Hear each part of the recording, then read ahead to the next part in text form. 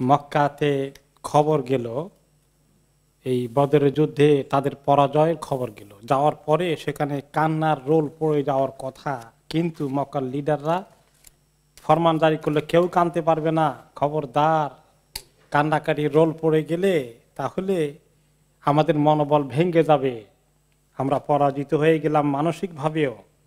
শক্ত থাকো, কান্নার নিষেধাজ্ঞা দিয়ে দিল। তো এখন মানুষে আবার আরব দেশে তাদের কান্নার নিয়মটা ছিল বেশি। আপনারা শুনেছেন যে কেউ মারা গেলে যত বেশি কানতে পারে, ততই তারা মা বাবার প্রিয়জনের হক আদায় করল। কত কাঁদলো তার উপর নির্ভর করে। যত বেশি কাঁদবে, এই তো, এইরকম বাবা মা, এমন ছেলে মেয়ে রেহে গেছে যে এতদিন পর্যন্ত কাঁদছে, এরকম জোরে জোরে চিৎকার করছে, বিলাপ করছে। এরাই তো মা বাবার হক ঠিক মতো আদায় করল। কিন্তু ইসলাম এসেছে কান্না থামানোর জন্য তাদের কান্নার রোল বেশি ছিল। এখন এত বড় ঘটনায় এত লোক মারা গেছে তাদের, কানতে পারছে না। ছেলের জন্য কানতে পারে না, ভাইয়ের জন্য কানতে পারে না, স্বামীর জন্য কানতে পারে না, কি মুসিবতের কথা। এখন এর মধ্যে তোরফা আসওয়াদ ইবনে আব্দুল মোত্তালিব নামে একজন আছেন। আব্দুল মোত্তালিবের ছেলে মানে ছেলে সে, নবী করিম সাল্লাহ ইসলামের বংশের এখন সে তো তার তিন ছেলে হারিয়েছে বদরের যুদ্ধে, তিনজন মারা গেছে। এখন তো সে, ওই যে তাদের কান্নার অভ্যাস আছে, এমনিই কান্না আসে। কার কান্না আসবে না তিন সন্তান হারালে? তার মধ্যে এটা ছিল তাদের মেইন শোক প্রকাশের একমাত্র মাধ্যম। সেটাও করতে পারছে না। খুব কষ্ট হচ্ছে তার। আর সে ছিল অন্ধ, চোখে দেখতো না ব্লাইন্ড এখন একদিন রাত্রে, সে তো রাত্রে ঘুমায় না, এদের চিন্তা, ঘুম আসে না। একদিন রাত্রে দেখল যে, খুব জোরে জোরে এক জায়গা থেকে কান্নার রোল পড়ছে। এখন সে তার কৃতদাসকে পাঠালো, দেখো তো যে ওই কান্নার আওয়াজ পাচ্ছি উন্দুর হাল ওহেল্লা নাহাব। কান্না করা কি হালাল হয়ে গেল কিনা খবর নিয়ে আয়। কান্নার পারমিশন পাওয়া গেছে কিনা? তাহলে আমি একটু ভালো করে কান্দি। কারণ হচ্ছে কি? হাল বাকাত করাই শুনে আল্লাহ কাতলাহা। করাইছে সবাই যাদেরকে যাদেরকে হারিয়েছে, আত্মীয়রা তারা কাঁদছে কিনা দেখো? লা আলি আব কি আলা আবি হাকিমা ফাইনা জৌফি কাদি তারাক যে আমার ছেলে তিনটা হারিয়েছে, তার মধ্যে আবু হাকিমা যে সে তো আমার কলিজার টুকরা। আমার কলজাটা একদম জোরে যাচ্ছে, কানতে পারছি না। জলদি করে খবর নিয়ে আয়, কান্নার পারমিশন আছে কিনা। তো সে কৃতদাস গেল খবর নিতে যেদিক থেকে কান্নার আওয়াজ আসছে যে বাড়ি থেকে, সেখানে গিয়ে খবর নিয়ে আসি, বলল, ইন্নামা হিয়া ইমরা আতুন তাবকি আলা বাইর ইনলাহা আদাল্লাথু কোনো মানুষের জন্য কান্নাকাটি করে নাই। ওই মহিলার একটা উঁট ছিল, উঁটটা হারিয়ে গেছে, উঁটের জন্য কাঁদছে। আরে কপাল পড়া। উঁটের জন্য কাঁদছে, তখন সে বলল, আহা, সে এখন আরবরা তো আবার কবিতা চর্চা ভালোই করতো অনেকেই। তো সেও কবিতা চর্চা করতে পারে। ওই যে তার ছেলের জন্য কাঁদবে, সে আসওয়াদ ইবনে আব্দুল মুত্তালিব। এখন সে একটা কবিতার মতো করে বলল আতাব কি আইয়াদিল্লাহা বা ইরুন ওয়াম না হামিনা নামে সাহুদু।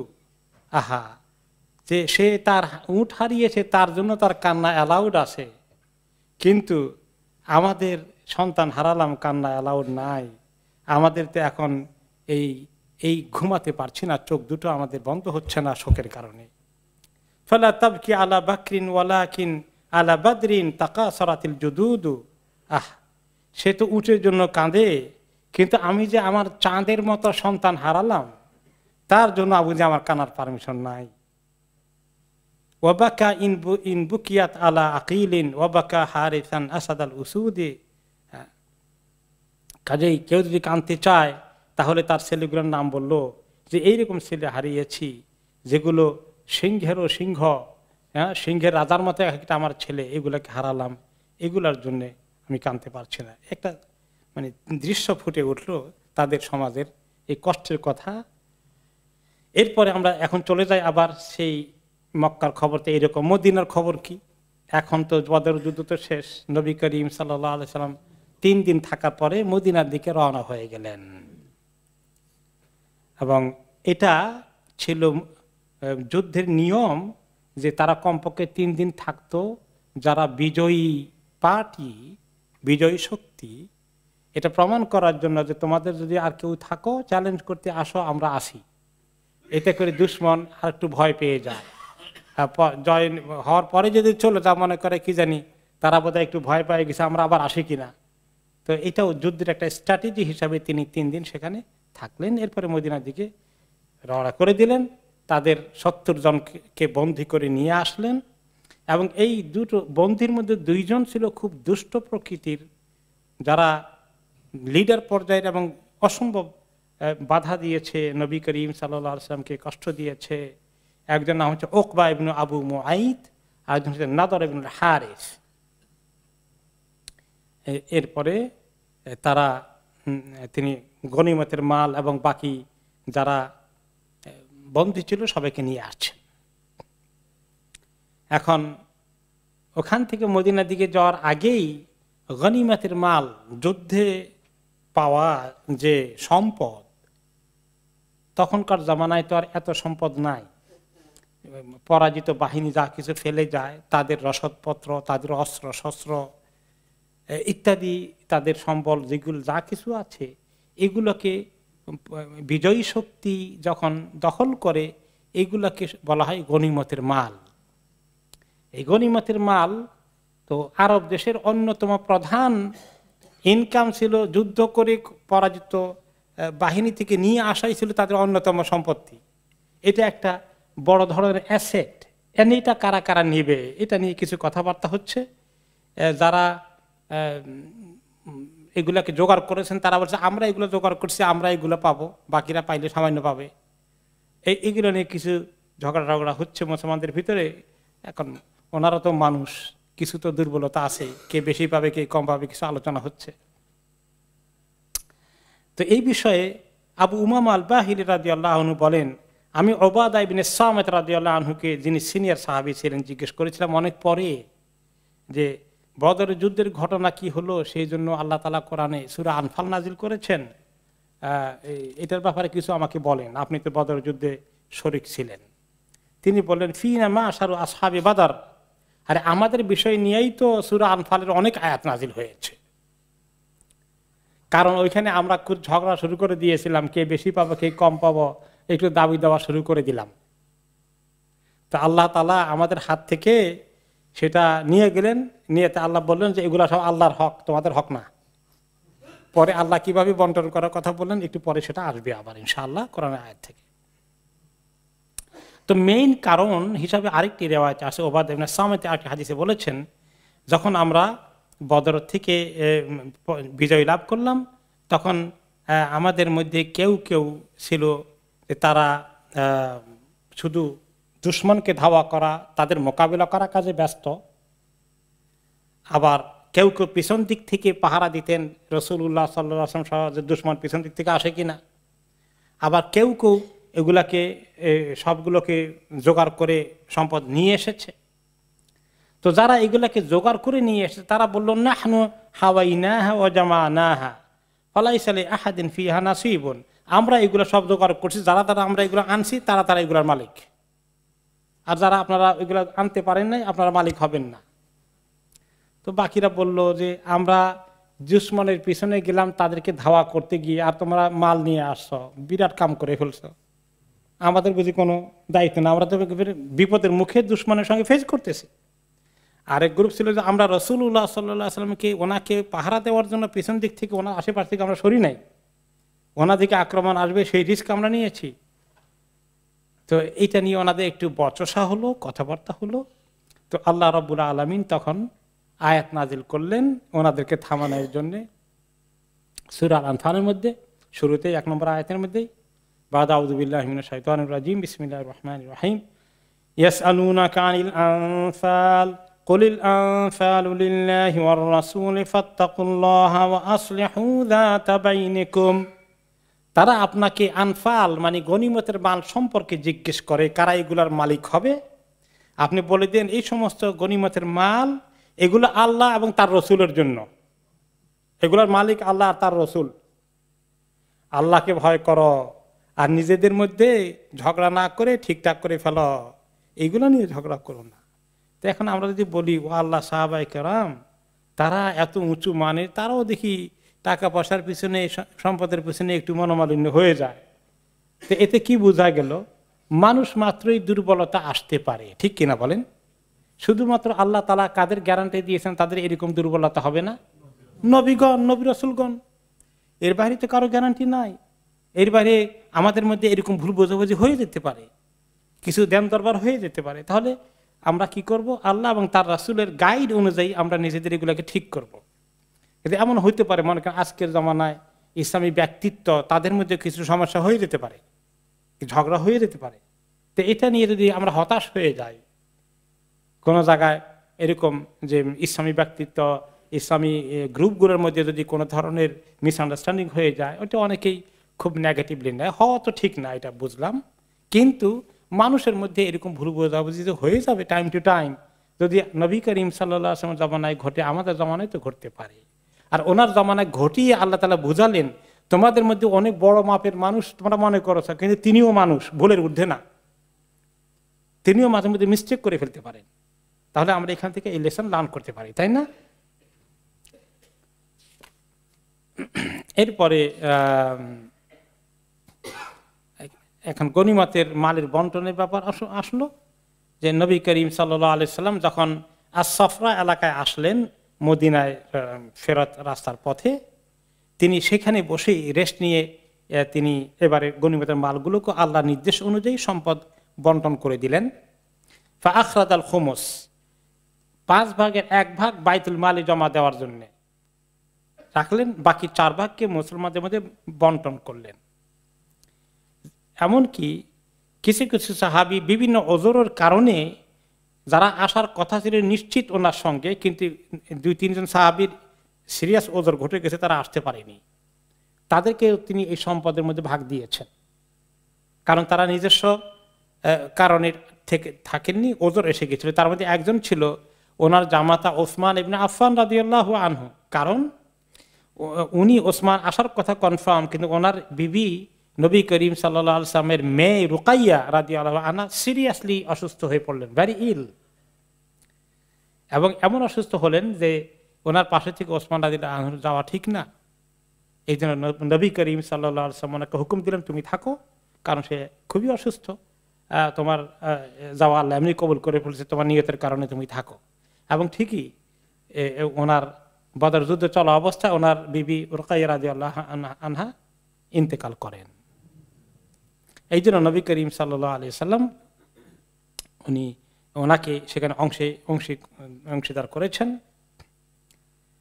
এইভাবে করে মোটামুটি আলহামদুলিল্লাহ মুসলমানদের মধ্যে, সাহাবিদের মধ্যে যে কিছু মিসআন্ডারস্ট্যান্ডিং হয়েছিল, এটা আল্লাহ তালা ঠিক করে দিলেন মাসা আল্লাহ কার কোনো অসুবিধা থাকল না। নবী করিম সাল্লাহ আলাইসালাম নিজেও একটা অংশ পেলেন, এবং ওনার অংশের মধ্যে অন্যতম একটা জিনিস ছিল যে একটা বড় সুন্দর একটা তরবারি তিনি পরাজিত বাহিনীর থেকে ওনার জন্য বরাদ্দ করলেন। সেটার নাম ছিল জুলফিকার। পরবর্তী পর্যায়ে তিনি এটাকে ব্যবহার করেছেন বিভিন্ন যুদ্ধের ময়দানে। নিজে এই অস্ত্র পরিচালনা করেছেন। ওনার ইন্তেকালের পরে এই জুলফিকার, এই তরবারিটা মালিক হন বা ওয়ারিস সূত্রে এটা চলে যায় আলী রাজিয়াল্লাহ আনহুর কাছে। তিনি পরে এটাকে ব্যবহার করেছেন বিভিন্ন যুদ্ধে। এই যে গনিমতের মালের খবর আসলো যেটা আসলে এই গনিমতের মাল কিন্তু এই উম্মতের জন্য আল্লাহ হালাল করেছেন।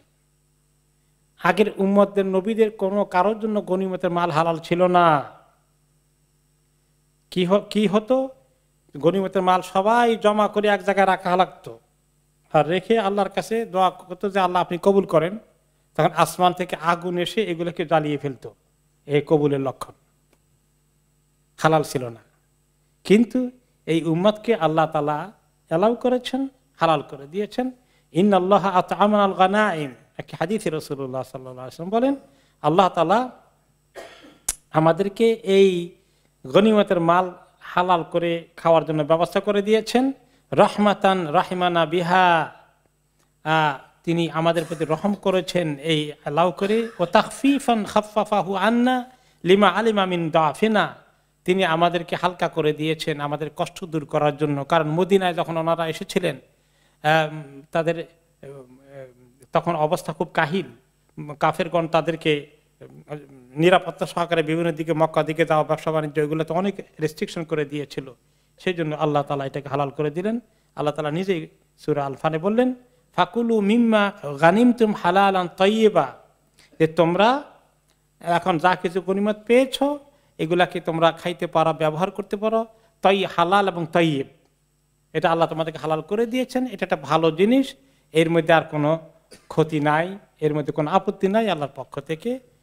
আরেকটি হাদিসে এসেছে, লাম তাহিল আল গানাই মুলে আহাদিন কাবলাকুম।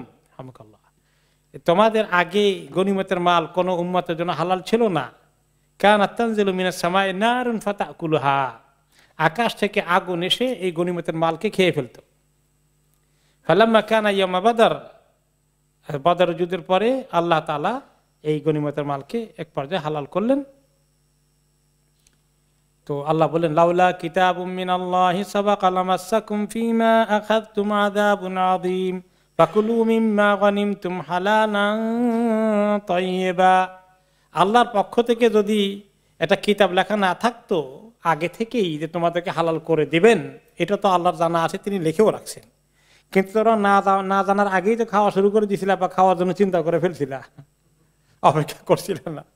এইটার কারণে আল্লাহর পক্ষ থেকে তোমাদের আজাব আসার কথা ছিল।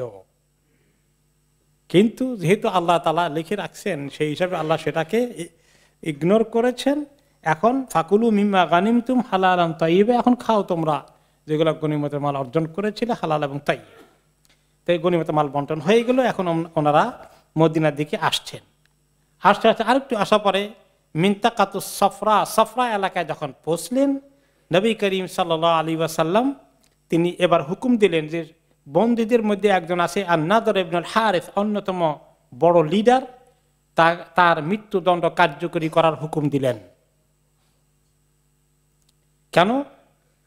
কেন হামেলা লিওয়া ইল মুশ্রিকিন বদর বদরের যুদ্ধে সে ছিল কাফেরদের ফ্লাগ ধরার দায়িত্ব তার হাতে ছিল।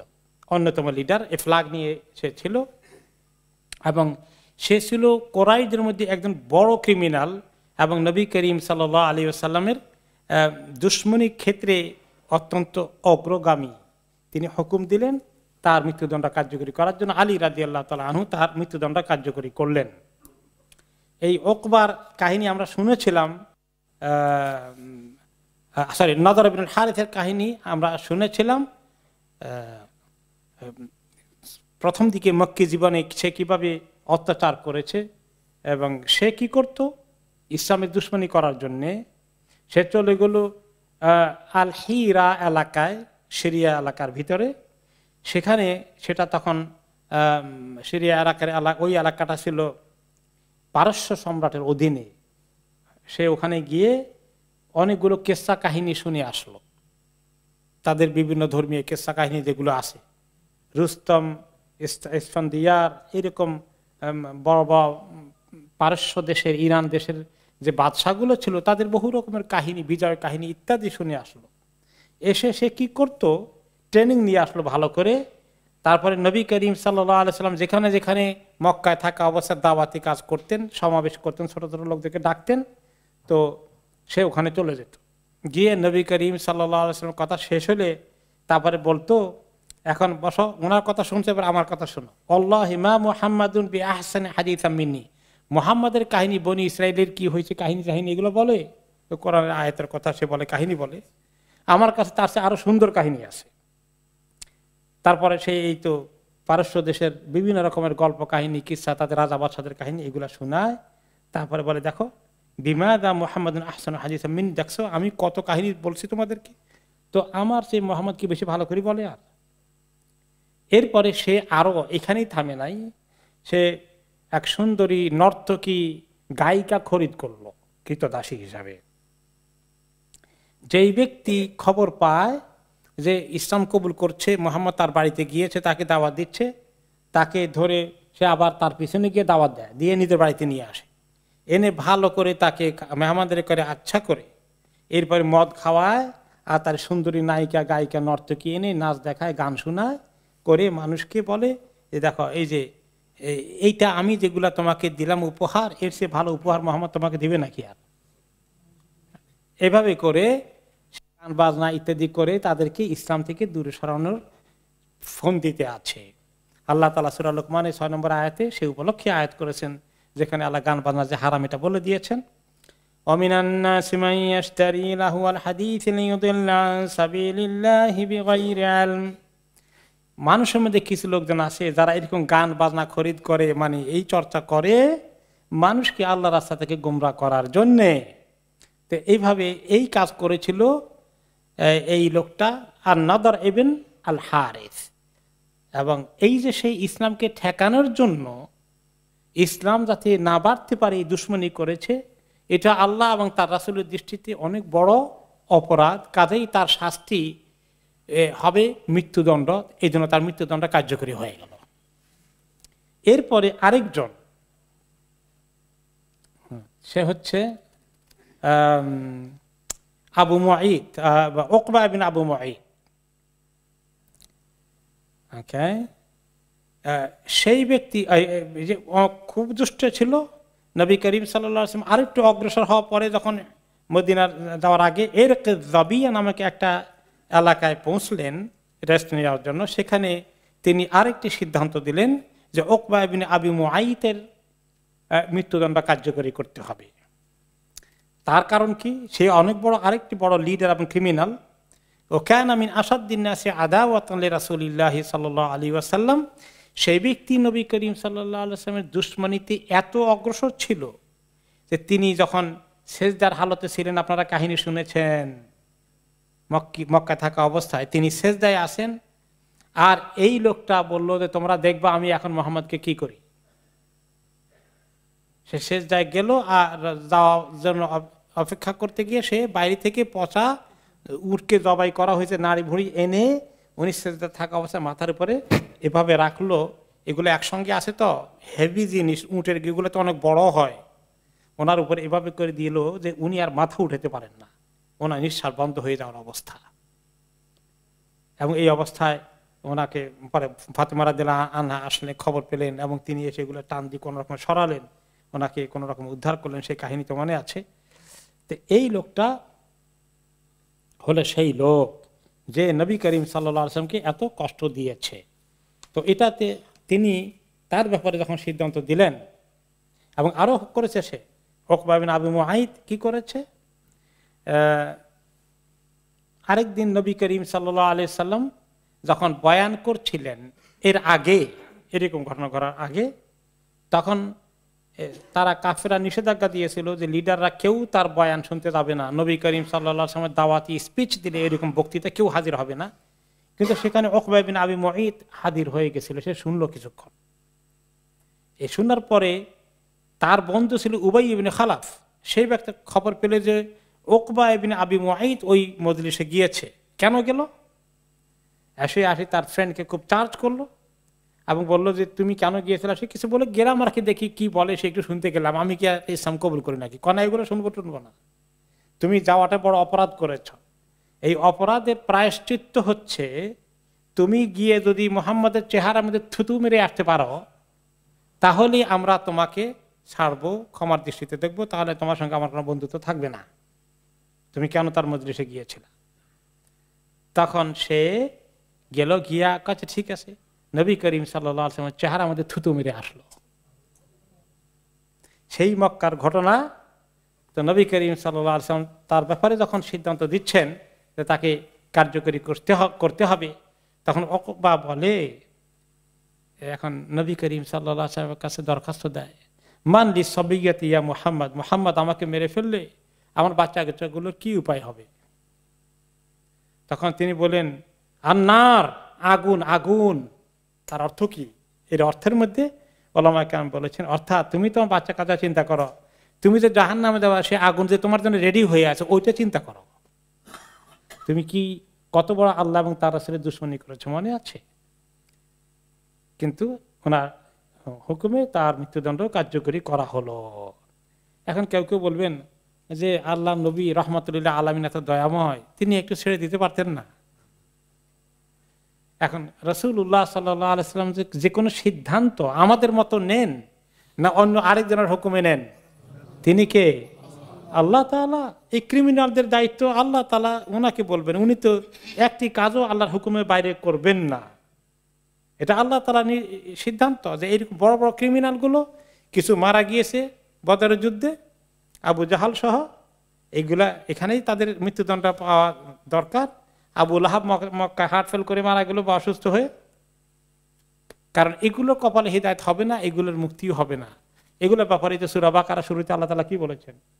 খাতাম আল্লাহ আলা কুলুবিহিম ওয়ালা সামিহিম ওয়ালা আবসারিহিম গেশাওয়া ওয়ালাহুম আযাবুন আযীম এদের জন্য কঠিন শক্তি শাস্তির ব্যবস্থা আছে, বড় শাস্তির ব্যবস্থা আছে। শুধুমাত্র বড় লিডার আবু সুফিয়ান এর বাইরে থেকে গেলেন। তো হয়তো আল্লাহর হুকুমে খাতাম আল্লাহ আলা কুলুবহিমের মধ্যে তিনি পড়েন নাই, বেঁচে গেছেন। তিনি ফতে মক্কার পরে ইসলাম কবুল করার সুযোগ পেয়েছেন। কাজে এখানে কেউ যেন মনে না করে যে রহমতের নবী, দয়াল নবী, তিনি তো এত দয়ার, দয়ালু নবী হলে তো তিনি যুদ্ধ করতে আসতেন না। দয়ালু তো আসেনি। এখন দুনিয়া সব জায়গায় যদি দয়া দয়া দেখান ক্রিমিনালদেরকে দয়া মা দেখায় ছেড়ে দেন, তো কেমনি হবে? তা আরও কিছু দয়া মা দেখাইলেও কিছু ঘটনা আরও সামনে আসবে যে কোনো কোনো ক্ষেত্রে আসলে আল্লাহর দিনের সাথে, হক বাতিলের সাথে শক্ত সিদ্ধান্ত নিতে হয়। ক্রিমিনালকে শাস্তি দিতে হয় দুনিয়ার মধ্যে। তাহলে দুনিয়া তো অন্ধকারে এবং জুলুম ইনসাফে পূর্ণ হয়ে যাবে।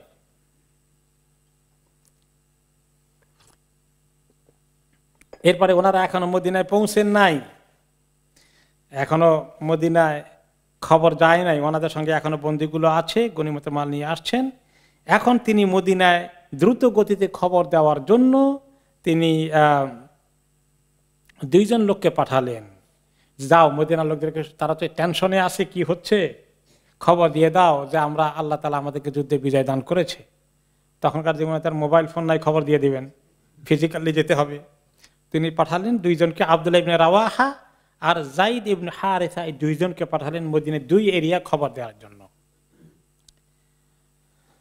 ওকে, তো জাইদ ইবিন হারিসা, উনি গেলেন মদিনার যেটা পাহাড়ি এলাকা নয়, একটু সমতল ভূমি, নিচু এলাকা, সেখানে তিনি গেলেন। আর আব্দুল আবিন হারেসাকে পাঠালেন তিনি আল আলিয়া এলাকায়, উঁচু এলাকায়, একটু পাহাড়ি এলাকায় যারা বসবাস করে তাদের কাছে। সেখানে গিয়ে তারা খবর দিলেন। তো জাইদ ইবিন হারেসা গিয়েই ওনা উসামা, ওনার ছেলে আছে উসামা।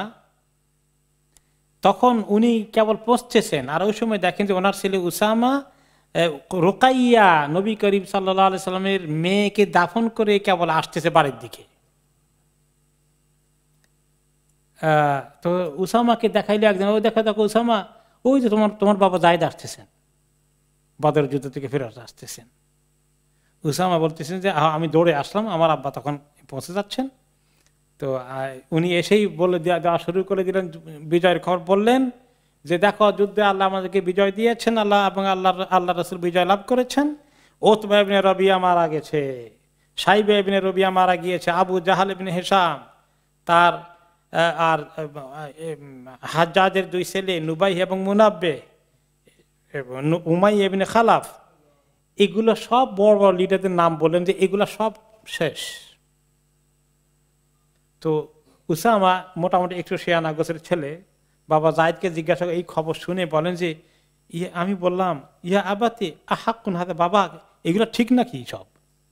আসলে কি?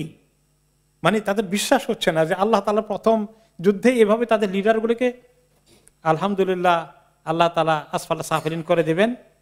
কল নাম আল্লাহ ইয়া বুনাই। আল্লাহর কসম, আমার ছেলে এগুলা হয়ে গেছে। আলহামদুলিল্লাহ।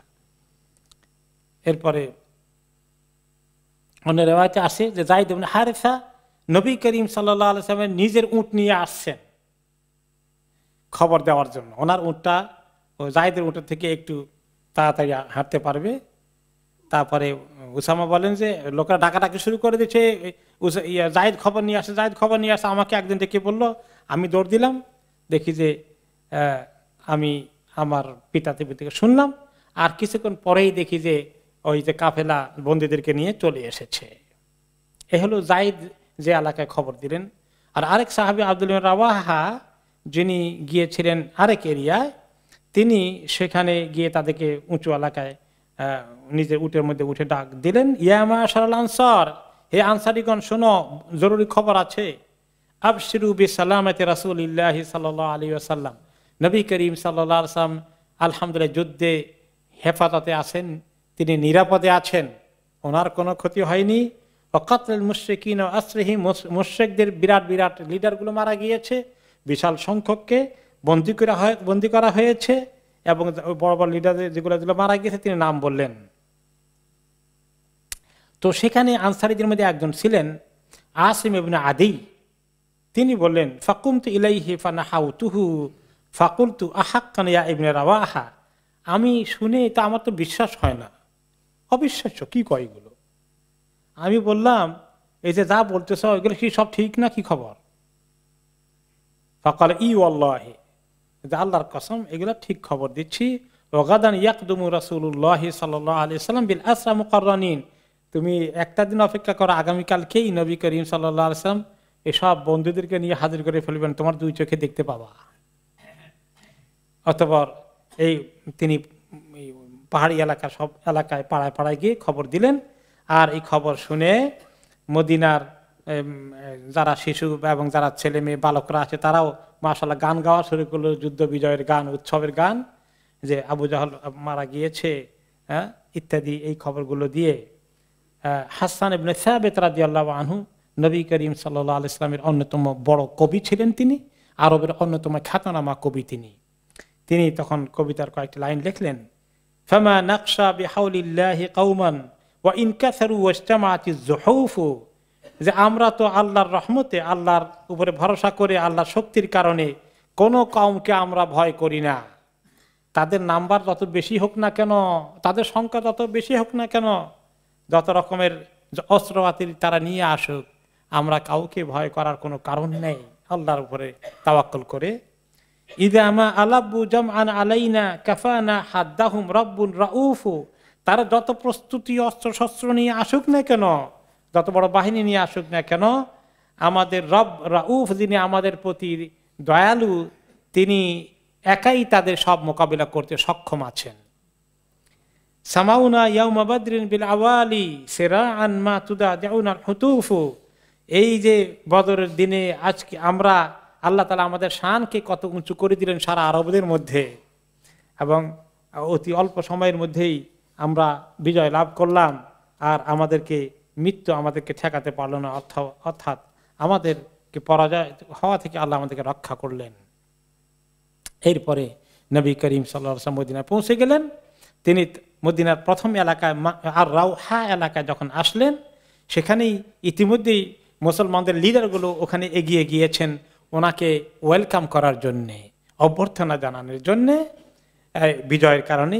সেখানে মদিনার আনসারিদের অন্যতম লিডার যিনি ওসাইদিন হুদাইয়ের তিনি বললেন, ইয়া রাসুল্লাহ আলহামদুলিল্লাহ আজফারাকা ও আকার আইনাকা। হে আল্লাহ রাসুল, যে আল্লাহ, সে আল্লাহর প্রশংসা করছি, যিনি আপনাকে বিজয় দান করেছেন, আপনার চক্ষু দুটাকে জুড়িয়ে দিয়েছেন, শীতল করে দিয়েছেন। অল্লাহ ইয়া রাসুল্লাহ ম্যাকানা তাকাল্লফি আন বাদরিন ওয়ানা আদুন আন্নাকা তালকা আদুয়ান ইয়া রাসুল্লাহ আমার আফসুস, আমি যে আপনার সঙ্গে বদরে যেতে পারি নাই কারণ আমি যদি জানতাম যে নির্ঘাত যুদ্ধ হবে, তাহলে তো আমি কিছুতেই পিসপা হতাম না। কারণ ওই মনে আছে তো, এটা যুদ্ধ হওয়ার কথা ছিল না। আবু সুফিয়ানের বাণিজ্য কাফলাকে অ্যাটাক করে সেগুলো মালপত্র কেড়ে নিয়ে আসা, এইটা ছিল টার্গেট আর যদি সত্যি যুদ্ধ হবে, এইটা টার্গেট থাকতো, তাহলে তো মদিনার আরও অনেক আনসারি সাহাবির কিছু কিছু লিডার যারা জিতে পারেননি, তারা কেউ পেছনে থাকতেন না। যে নবী করিম সাল্লাহ আলসালাম যুদ্ধে থাকবেন আর ওনারা মদিনায় বসে থাকবেন। তো উনি ওই কথা বললেন, আর ঠিকই উনি অনেক উঁচু মানের সাহাবি ছিলেন, তিনি সত্যি কথাই বলেছেন। ওলা কিন্তু জানান তো আন্না ইরুন আমি তো মনে করেছিলাম আপনি আবু সুফিনার কাফেলা মোকাবিলা করতে যাচ্ছেন। ওলাও জানান তো আন্নাহু আদুগুন মা তাখাল্লাফ তো আমি যদি জানতাম মক্কার বাহিনী আসছে আপনাকে আক্রমণ করতে, তাহলে তো আমি কিছুতেই পেছনে থাকতাম না। নবী করিম সাল্লাহ সাল্লাম অবশ্য ওনার কথা আন্তরিকভাবে বিশ্বাস করেছেন। তিনি বললেন, সদাক্তা, তুমি সত্যবাদী, আমি জানি, তুমি ঠিকই বলেছ।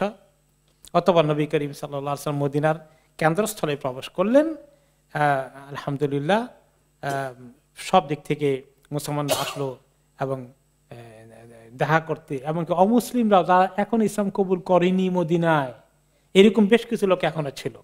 তারা এসে সবাই এখন বদার যুদ্ধে বিজয়ের খবর শুনে, এখন তারা দলে দলে মদিনার বাকি নাই, প্রায় সবাই ইসলাম কবুল করে ফেলল।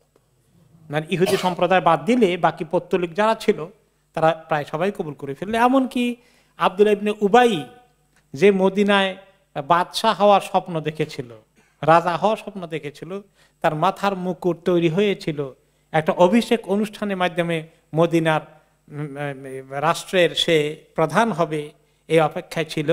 কিন্তু নবী করিম সাল্লাম আসার কারণে তার সে আসার বালি হয়ে গেল।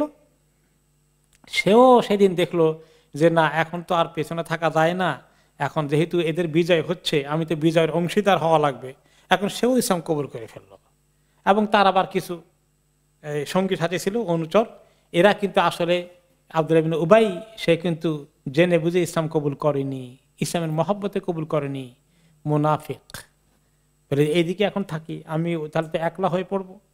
আবার যদি তাদের এরকম যুদ্ধে সামনের দিকে যুদ্ধ হয়, তাহলে তো গণিমতের মালের অংশও পাবো। এই সমস্ত বিভিন্ন কারণে সে মুনাফিকি নিয়তে ইসলামে ঢুকলো। আসলে মুনাফিক। এরপরে নবী করিম সাল্লাহ আলিয়াল্লাম বন্ধুদেরকে নিয়ে বললেন, তখন তো জেলখানা নাই প্রপারলি তাই না? এরকম রাষ্ট্র তো আর না। তিনি বললেন, ভাগ করে দিলেন, যে এরা কোথায় থাকবে, কীভাবে থাকবে, কে কে কার খাবারের দায়িত্ব নেবে, তিনি ভাগ করে দিলেন। যে বন্দিরা যেন উপোস না থাকে, তাদের লুক আফটার করবা, এভাবে ভাগ করে দিলেন, কে কে কে কার লুক আফটার করবে, খাবার নিয়ে আসবে।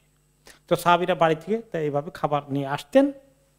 এবং ওখানে বন্দী হয়েছিলেন একজন, তার নাম ছিল আবু আজিজ।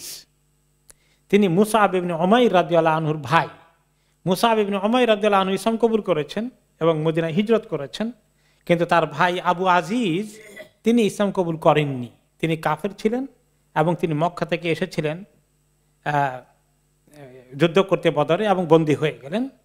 তো উনি বলেন যে আমাদেরকে এই বদরের বন্দীদেরকে মদিনাবাসী কীভাবে ট্রিট করল, কীভাবে মেহমানদারি করল তিনি বললেন যে, আমি ছিলাম কুন্তুফি রাহতি মিনাল আনসার। আমাদেরকে, আমার দায়িত্ব দেওয়া হয়েছে কিছু আনসার সাহাবিদের কাছে আমার খাবার দাবারের লুক আফটার করার। ফাকানু ইদা কাদ্দামু কাদা আহম আবু আশা আহম খাসুনি বিল খবস। যখন তাদের দুপুরের খাবার লাঞ্চ এবং ডিনার রাতের খাবার, এগুলো সময় হতো, তারা আমাকে সবসময় রুটি খাওয়াতো। মদিনাবাসী কি সবসময় রুটি খাইতে পারতো? প্রায় সময় খেজুর খেয়ে থাকা লাগতো। রুটি খাওয়া মানে আর নাকি ভাত খাইতো সারা বছর? ভাত তো নাই। মোর ভাত চিনতো না মদিনা লোকেরা, খুব রেয়ার মেন যারা যারা মোটামুটি একটু অর্থনৈতিকভাবে মোটামুটি সলভে আছে, তারা রুটি খাইতো আর কি। তো বলে যে তারা রুটি সারা আমাকে খাবার দিত না। আর তাদের এত কম রুটি বানাতো, তারা অনেকে খেতে পারতো না। ও আকাল উত্তমার শাসন তারা খেজুর খেত। রুটিটা বানাই আমাকে দিয়ে দিত। কারণ, লে ওয়াসিয়ত রসুল ইল্লাহ সাল্লাম ইয়া হুমবিন আমাদের জন্য নবী করিম সাল্লাম তাদেরকে ওসিয়ত করেছেন, নসিহত করেছেন, উপদেশ দিয়েছেন, দেখো, বন্দীদের খাবার দাবারে যদ্দুর পারা উত্তম তরিকায় ব্যবস্থা করবা। তাহলে নবী করিম সাল্লাহ আসলাম রহমতুল্লাহ আলমী ঠিকই আছেন। তিনি এরকম নির্দয় নয়, বন্দীদেরকে কষ্ট দেওয়া। আজকালকার জামানায় মানে বন্দীদেরকে কেমন কষ্ট দেয় বলেন তো? মুসলমানরা বেশি কষ্ট দেয়। ধরে রিমান্ডে নিয়ে কি করে? আর দেশ থেকে খবর আসে যে এত ঠান্ডা, একটু শীতের কাপড় আনতে দেয় না। ফ্লোরের মধ্যে শুইতে হয়। এই মুসলমান জালিমগুলো কি কষ্ট মানুষকে দেয় রিমান্ডের নামে? তো এত ভালো ব্যবহার করত। হাতা মাতা কাউফিয়া দেরাজুল মিনহুম কেসরাত খবজিন ইল্লা না ওয়ালানি ইয়াহা। যে তাদের কোনো সময় রুটির ব্যবস্থা হয়ে গেলে ওইটা আমাদেরকে দিয়ে দিত, তারা খেত না। তা আমার খুব লজ্জা লাগতো, আহারে তারা রুটি খায় না, ছেলে মেয়ে আছে ওদের খাইতে দেয় না। একটু রুটি পেয়েছে, সেটা আমার জন্য পাঠিয়ে দেয়। তা আমি কোনো কোনো সময় বলতাম যে, না, আমি রুটি খাব না, আমি একটু খেজুর খেয়ে থাকি। এই বেলা, আমি খেজুর খেয়ে আপনারা একটু বাচ্চাদেরকে রুটি দিয়ে রুটি খান। না ফের দোহা আলাইয়া আমার সুহা আবার তার রুটিটা না খেয়ে বাচ্চাদেরকে না দিয়ে আবার আমার কাছে পাঠিয়ে দিত। এইভাবে আসিরদেরকে বন্দীদেরকে ওনারা মেহমাদারি করলেন। এরপরে সাউদারা দিয়াল্লাহ আনহার ছোট একটা ঘটনা আছে। তিনি নবী করিম সাল্লাহ বিবি সাউদারা দিয়াল্লাহ সাউদা বিনতে জামা তো তিনি যখন দেখলেন চিনতেন একজনকে, সে হচ্ছে সোহাইল ইবনে আমর। তার দুই হাত বাঁধা আছে, শিকল দেওয়া মানে বন্দি বন্দীদেরকে তো বেঁধে রাখতে হয়, তখন এইভাবে রাখা হয়েছে। শিকল না, রশি দিয়ে বাঁধা আছে। তো তিনি তাকে লক্ষ্য করে বললেন, সাউদা, ওই কাফের বন্দিকে লক্ষ্য করে তাকে চিনতেন মক্কাবাসী। আবু আবু ইয়াজিদ আ তাই তুম তুমি আইদিকুম আল্লাহ মুত্তুম কেরামান? কি ব্যাপার? তোমরা যুদ্ধের মধ্যে তোমাদের হাত এমনি করে কইছ যে আমাদের হাত বাঁধো। তো তো এই, তো মরবা তো মরবা, একটু যুদ্ধ করেই মরতা, এই অবস্থায় বন্দী হয়ে বন্দী হয়ে আসছে কি জন্যে তো এই খবর নবী করিম সাল্লাম কানে পৌঁছলে তিনি বললেন, ইয়া সাউদা, আ আল্লাহ আল্লাহ রাসুল হিতু হারিদিন কি তুমি কি তো ওই বন্দিকে বলছো, ভালো করে যুদ্ধ করতো আল্লাহ এবং তার রসুলের বিরুদ্ধে? এইটা কি তুমি বললা নাকি? এই কথাটা কি তোমার ঠিক হলো? তো তিনি বলেন মহিলা মানুষ তো আবেগ ইমোশনে বলে ফেলছেন বা হাক মা তো বিহাবলিন আমার যারা বলছি বলছি এই জন্য যে যুদ্ধ করতে আসছিস তুই এই দুরবস্থা কেন? যুদ্ধের মতো লড়াই করবি, তো এরকম কাপুরুষ হলি কেন? ওই কথা বলছিলাম আর কি, হয়তো আমার বলা ঠিক হয় না, ইয়া রাসুল্লাহ মহিলা মানুষ কয়ে ফেলছে কথা একটা, উনি তার সিরিয়াসিটা মিন করেন নাই। নবী করিম সাল্লাহ আলসালাম অ্যাকসেপ্ট করেছেন। এরপরে নবী করিম সাল্লাহ আসলামের সামনে আরেকটি কেস আসলো। এক তো গণিমতার মাল নিয়ে সমস্যা হয়ে গেল। বন্দীদেরকে কি করা হবে? এটা এনে রাখা হলো। এখন এদের ক্ষেত্রে তাদেরকে কি সবাইকে কিছু মুক্তিপণ নিয়ে ছেড়ে দেওয়া হবে? না তাদেরকে সবাইকে হত্যা করা হবে?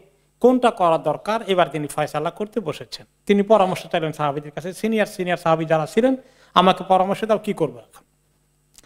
তো তিনি আহ, বললেন মা তারাও না ফিহা উলাইল উসারা। এই বন্দিগুলোর ব্যাপারে কি করতে পারি পরামর্শ দাও আবু রাদিয়াল্লাহু আনহু এবং অমর রাদিয়াল্লাহু আনহু এই দুইজন তো সবচেয়ে বেশি ওনার কাছের পরামর্শ দেওয়ার জন্য এবং তিনি ওনাদের সঙ্গেই বেশি সবসময় পরামর্শ করেন। এবং এই জন্য ওই দুইজনকে কি বলা হয়? ওজিরাই রাসুল্লাহ সাল্লাহ আলিয়াল্লাম নবী করিম সাল্লাহ আলিয়াল্লামের দুইজন মিনিস্টার অ্যাডভাইজার যাই বলেন না কেন এই দুইজন। আবার তিনি আরেক সময় বলেছিলেন ইজা ইখতারা ইত্তাফাক তুমা ফিসাইন মা খালাফতুকুমা তোমাদের দুইজন যদি কোনো বিষয়ে যেখানে আল্লাহর পক্ষ থেকে কোনো ফরমান নাই, সেই বিষয়ে তোমরা দুইজন আমাকে একমত হয়ে কোনো পরামর্শ দিলে, আমি তোমাদের দুইজনের এই পরামর্শের বাইরে কোনো কাজ করব না। উনি এত কনফিডেন্স তাদের ব্যাপারে ওনার আছে। এত গুরুত্ব দেন দুইজনকে। তো আবু বকর আনু প্রথমে বললেন ইয়া নবী আল্লাহ, হুম বনুল আমি ওয়াল আশিরা। ও আল্লাহর নবী ওনারা তো আসলে আমাদেরই জ্ঞাতি গোষ্ঠী, কারও কাজিন, চাচত ভাই ইত্যাদি, নিজের জ্ঞাতি গোষ্ঠীর লোকজনই কোরআশ বংশের আমরা তো কোরআশ বংশ থেকে আসছি আমাদেরই জ্ঞাতি গোষ্ঠী কি করা যায়?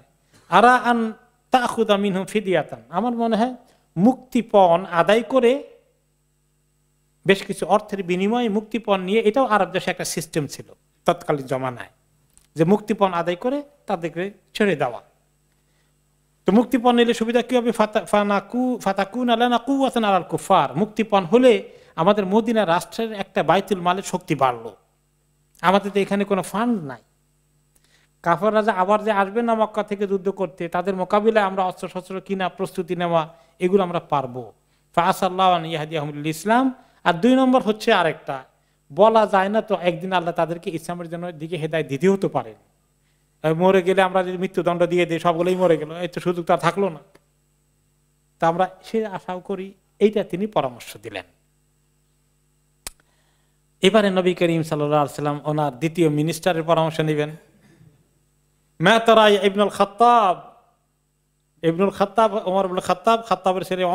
আপনার পরামর্শ কি? উনি কি পরামর্শ দিবেন তার পাইছেন? আল্লাহর হবে না। আর আল্লাহ আবু আবু সঙ্গে আমি একমত না। আর না আপনি আমাদেরকে অর্ডার দেন, তাদের এক একটা একটা করে গর্দান উড়িয়ে দেই? আর নাম বলে দিলেন যে, আলীর ভাই যে আকিল আসছে যুদ্ধ করতে। আলী আনুর ভাই আকিল। তিনি আসছেন কাফেরদের পক্ষ থেকে কারণ বনি হাসেমের লোকেরা আসার কথা না, ওরা জোর করে নিয়ে আসছে। এখন ওমর রাজিয়াল আনু কথা হলো, দুশ্মনের পক্ষ থেকে যখন আসছে, তার দায়িত্ব দেন আলীকে, আলী নিজে তার ভাইয়ের এটা এক্সিকিউট করুক। ও তুমাক্কিন মিন ফোলা নাসিবান অমর ফাদরে বাউনকা আর এই অমুক যে আছে আরেকজনের নাম বলল যে সে আমার আত্মীয়, তার দায়িত্ব আমাকে দেন, আমি তার অ্যাকশন নেই।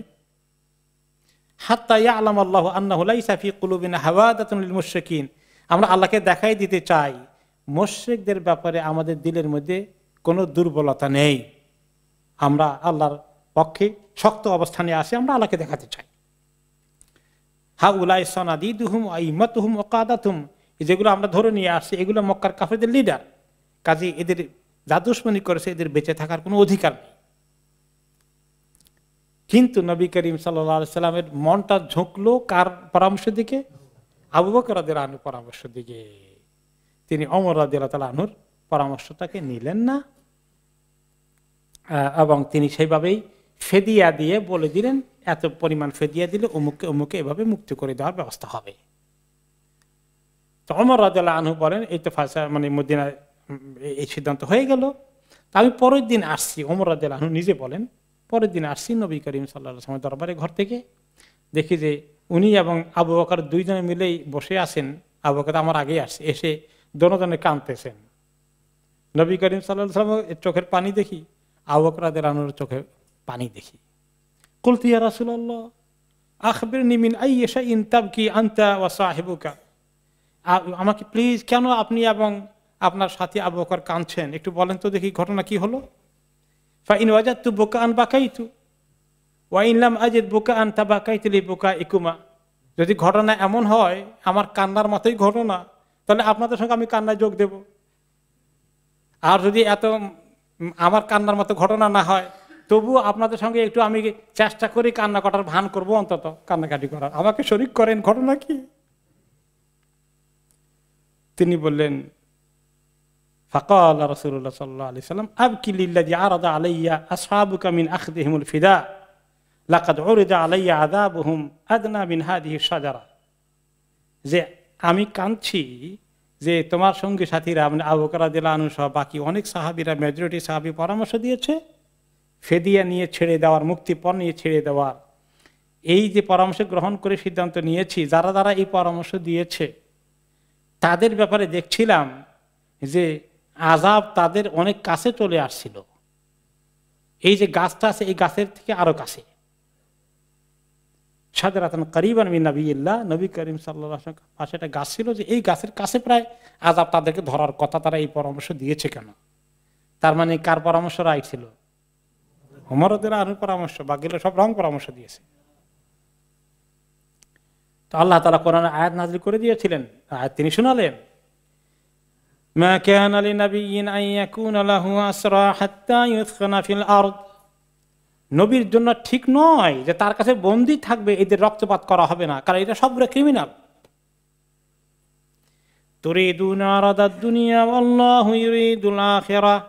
তোমরা কেউ কেউ সাহাবিরা চাইছো যে দুনিয়ার কিছু মুক্তিপণ পাওয়া গেলে তোমাদের একটু অর্থনৈতিক অবস্থা ভালো হবে মদিনার একটু উম, বাইতুল মাল রিচ হবে এগুলো চিন্তা করেছিল কিন্তু আল্লাহ তালা তো তোমাদেরকে দুনিয়াতে বেশি দেওয়ার চিন্তা না করে আখরাতে বেশি দেওয়ার চিন্তা করেছেন। আল্লাহ আজিজুন হাকিম। আল্লাহ তালা অনেক শক্তির অধিকারী, অপরাজিত এবং তিনি সবচেয়ে জ্ঞানী। তিনি যে ফয়সালা দেন সেটাই তো উত্তম। তোমরা অপেক্ষা করতে যে আল্লাহ কি বলে? আল্লাহটা শুনি। লাউলা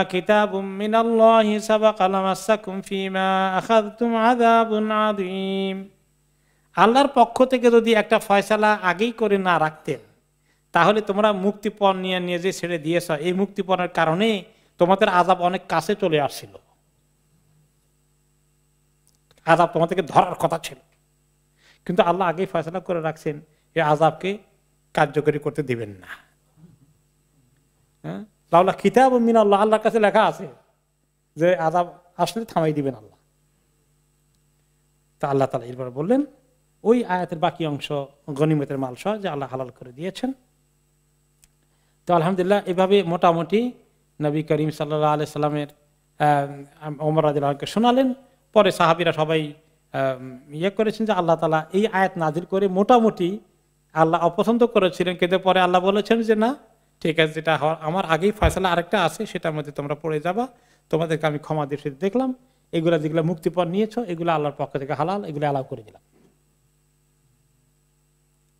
এখন এই যে আবু বকর আনহুর পরামর্শ আর অমর আনহুর পরামর্শ, দেখা গেল যে আল্লাহ তালার কাছে অমর আনহুর পরামর্শ বেশি পছন্দ হয়েছে। আপাতত তাই মনে হয়েছে। নগদে এটাই হওয়ার কথা ছিল। কিন্তু দীর্ঘমেয়াদী আল্লাহ তালা কেন আরেকটা লিখে রাখছেন? যে আল্লাহর ফয়সলা আরেকটা আছে ঠিকই কিন্তু প্রথম যখন চিন্তা করেছিলেন, তারা চিন্তাটা হওয়া দরকার ছিল যে আল্লাহর স্পিরিট কোনটা। কিন্তু দীর্ঘমেয়াদী যেটা আল্লাহ ভবিষ্যৎ জানেন, ওনারা তো ভবিষ্যৎ জানেন না। আল্লাহর ভবিষ্যতের পরিকল্পনা হলো যে মক্কাবাসীর অনেকেই ইসলাম কবুল করবে। এটা কি আবু বকর কেউ জানেন নাকি? কিন্তু আল্লাহ জানা আছে। সেই জন্য দীর্ঘমেয়াদী যেটা হয়েছে যে মক্কা আবু কারা জেলা তারা আনহুর পরামর্শ অনুযায়ী ফয়সালা হয়ে যাওয়াতে এক পর্যায়ে আলহামদুলিল্লাহ সেটা ইসলামের পক্ষেই আসছে। এই মক্কার লোকগুলো এক পর্যায়ে ইসলাম কবুল করল মক্কা বিজয়ের পরে। ইয়াদ হলুন আফি দিন ইল্লাহে আফওয়াজা এখন নবী করিম সাল্লাম কাঁদলেন কেন? ওনার চোখে পানি আসছিল কেন? এটা ছিল যে কোন কোনো সাহাবির মধ্যে একটু দুনিয়াদারি চলে আসছিল কিনা ওই পরামর্শ দেওয়ার সময়। টাকা পয়সার প্রতি নজর গিয়েছিল কিনা? এইটা হয়তো উম্মতের জন্য ভালো লক্ষণ নয়। এইটার কথা চিন্তা করে তিনি একটু নরম হয়ে গিয়েছিলেন, বিদায় ওনার চোখে পানি এসেছিল। যদিও তিনি নিজে পার্সোনালি হয়তোবা সবসময় তিনি আজাবের পক্ষে নন। যেমন তাইফে যেটা হয়েছে, ওনাকে পাথর মারলো যখন তাইফের লোকজন। জিবরিল আলাইসালাম পাহাড়ের ফেরস্তা নিয়ে আসলেন না? যে আপনি চাইলে আমি আল্লাহর হুকুমে এই পাহাড়ের ফেরস্তা নিয়ে আসছি। আল্লাহ অর্ডার দিয়ে দিবেন পাহাড়ের ফেরস্তা দুই দিক থেকে পাহাড় এনে মক্কাবাসীকে চাপা দিয়ে ফেলবে সব। এবং ইয়ে তাইববাসীকে তিনি বলছে আমি চাই না। এরা সব ধ্বংস হয়ে যাক। এরা যদি ইসলাম কবুল নাও করে এদের পরবর্তী বংশধর ইসলাম কবুল করবে। নবী করিম সাল্লাম মনে সেটা আছে কিন্তু আল্লাহর মানসা কি সেটা কি না এটা তো উনি জানতে পারছেন না। আল্লাহ তালা না বললে। তো এই দিক থেকে লং টার্মে দীর্ঘমেয়াদী আবু বাকর রাজি আল্লাহ আনুর পরামর্শটা আসলে মোর ইসলামের জন্য ফায়দা হয়েছে। যদিও তাৎক্ষণিক স্পিরিটে ওই সময়ের জন্য ওমর রাজান স্পিরিটটা আল্লাহ বেশি পছন্দ করেছেন। কিন্তু আল্লাহ তালার তরিকা আছে যে তিনি এটাকে অবশ্য আরেক লাইনে নিয়ে যাবেন, কিন্তু তাদের উচিত ছিল এইরকম ওমর রাজিল আনুমতন অবস্থান থাকা, এরকম মানসিকতা তৈরি করা। এটাই হলো দুইটার কথার মধ্যে একটা কন্ট্রাডিকশন নয় দ্যার ইজ এ কমপ্লিমেন্টারি মানে কনক্লুশন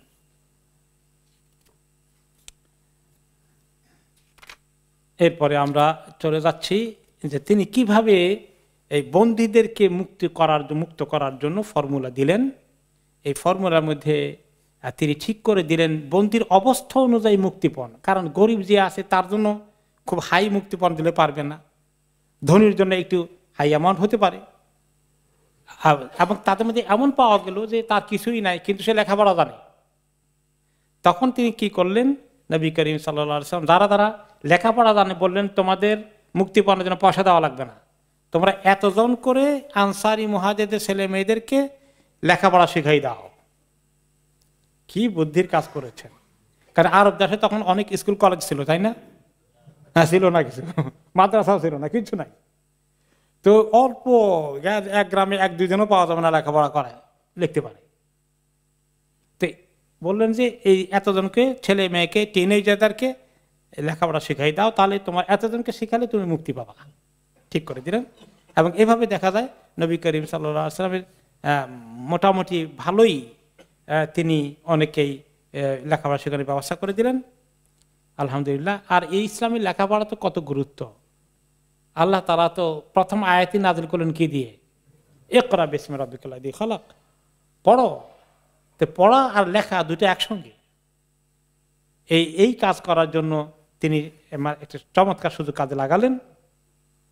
এবং এর বিনিময়ে অনেক মাসা আল্লাহ মুক্তি পেয়ে গেল। আবার কিছু কিছু ছিল মুক্তিপণ দেওয়া তো মোটেই পয়সা নেই, ফকির, মিসকিন। তাদের মধ্যে একজন ছিল মোত্তালেব ইবনু হান্তব। সাইফি ইবনে আবি রেফা আবু আজাল জুমাহি আবু আজাল জুমাহি আরেক গরিব লোক কানা ফকিরান অজুবানাতিন সে ছিল একদম গরিব এবং তার অনেকগুলো মেয়ে ছিল তার ঘরে, পরিবারের মধ্যে। সে যখন বন্দী হয়ে আসছে, সে বলল ইয়া রাসুল্লাহ আও নবী করিম সাল্লাম লক্ষ্য করে বলল লাকাত আরাফতা মাল ইমিন মাল, আপনি তো জানেন, আমার তো মুক্তিপণ দেওয়া আমার তো কোনো পয়সা নেই, আমি ফকির মানুষ, মিসকিন মানুষ। ওয়াইনিল্লাদু হাজাতিন আয়াল আর আমার এই মেয়েতে কতগুলো আছে পরিবার, সব না খেয়ে মরবে, আমি যদি আমাকে মুক্তি না দেন। ফামনুন আলাইয়া, আমার প্রতি একটু মেহরবানি করেন, দয়া দয়া করেন, আমাকে আপনি আপনি একটু ছেড়ে দেন দিয়ে কিছু দিতে পারব না। তো নবী করিম সাল্লাহ আসলাম তাকে ছাড়ার সিদ্ধান্ত দিলেন, শর্ত করে দিলেন এক শর্তে, যে তুমি আর কোনোদিন যুদ্ধ করতে আসবা না আমাদের বিরুদ্ধে, এবং আমাদের বিরুদ্ধে তুমি কোনো দুশ্মনী করবা না, অন্য কাউকে উৎসাহিত করবা না, এই শর্তে দেব। কিন্তু এই শর্ত সে রক্ষা করে নাই। সে ওহদের যুদ্ধে আবার আসে যুদ্ধ করতে। আসার পরে মোশরেকরা তাকে মানে খুব ইয়ে করছে মার্শাল্লাহ তুমি তো ভালো বুদ্ধিমানের কাজ করছ। বিনা পয়সা চলে আসছো ফাইন মোশরেকের যখন, সে যখন আবার ওহদের যুদ্ধে ধরা পড়েছে, তখন আবার একই অবস্থা, এখানে মুক্তিপণ নিয়ে যারা যারা ছাড়া পাবে, সে একই কথা বলল যে ইয়া মোহাম্মদ, আমার তো আগের মধ্যে হালত অবস্থা, কোনো অবস্থার কোনো উন্নতি হয় নাই। তা আমার ছেলে মেয়েগুলো সব মরে যাবে খাওয়া টাওয়া থাকবে না, মেহরবানি করে আমাকে ছেড়ে দেন। তখন তিনি বললেন আরে দাইকা বি মাক্কা আমি তোমাকে আবার ছেড়ে দেব না। তুমি মক্কায় গিয়া খুব গল্প করবা। শাখের তুমি মোহাম্মদিন মর্রাতাইন, মোহাম্মদকে দুইবার ধোকা দিয়েছি। আমি কেমন বেটা জানো? খুব চালু মানুষ আমি। এরকম তুমি একটা ফন্দি করছ আমার সাথে। জহরিন মাররাতাইন। কোন মমিন মুসলমান দুইবার এক গর্তে পড়ে না। তোমাকে আমি চিনে ফেলেছি। ও আমার আবিহি ফাকুতিলাইয়াম আহমদ। ওহদের যুদ্ধে পরে তার মৃত্যুদণ্ড তিনি কার্যকরী করেছেন, করা নির্দেশ দিয়েছেন। এইভাবে করে মোটামুটি কিছু ওর মতো না হলেও বাকি আরও কিছুকে তিনি বিনা যাদের গরিব একান্ত অসহায়, তাদেরকে তিনি বিনা মুক্তিপণে মুক্তি দিয়েছিলেন কিছু কিছু। ইনশাআল্লাহ। এরপরে মুক্তিপণের ব্যাপারে আরও কিছু কথা আছে এবং ওনার জামাতা, এক জামাতাও বন্দী হয়ে আসছে। তার মুক্তির ব্যাপারে একটা খুব গুরুত্বপূর্ণ ঘটনা আছে, সেটা আমরা ইনশাল্লাহ আগামী সপ্তাহে বলব। আজকে আমরা এখানেই কনক্লুড করি ইনশাল্লাহ জাজাকুমুল্লাহ খাইরান সুবহানাকাল্লাহুম্মা বিহামদিকা, আশহাদু আল্লা ইলাহা ইল্লা আনতা